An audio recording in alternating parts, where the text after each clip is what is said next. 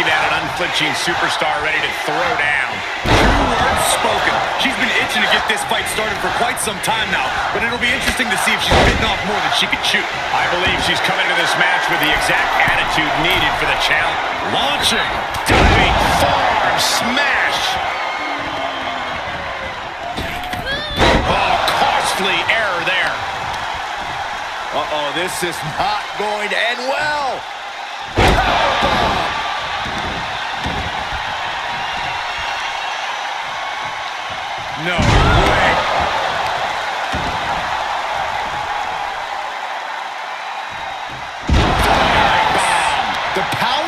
Display right now is ridiculous.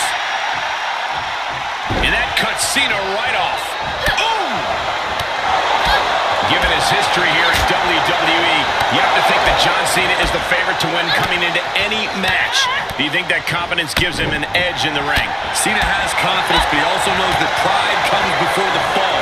He needs to stay humble, free of expectations, and ready to work hard for the win. Tough position to be caught in here.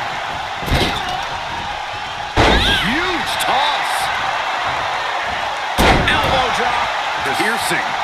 Look at John Cena with the early cover. And there's a kick out at one. Definitely looks in a hurry to finish things. Oh, foot just stomping down.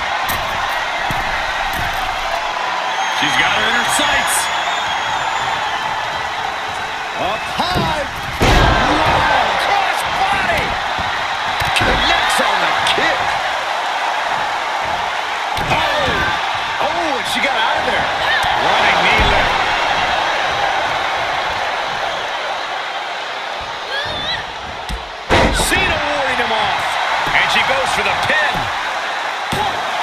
Kicks out of the pinfall attempt. She likely knew that wasn't enough. She's just keeping the pressure on.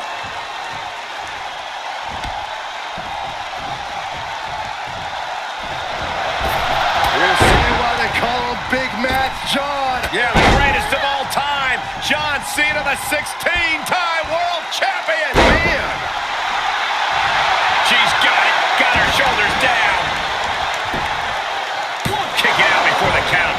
Tell you, I thought she was done there.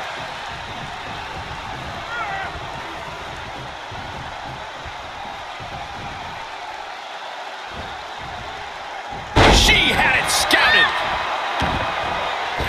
Connecting with the moonsault. If this works, it could change the course of the match. Perched up top. A diving knee drop. Taking a chance one more time and landing with incredible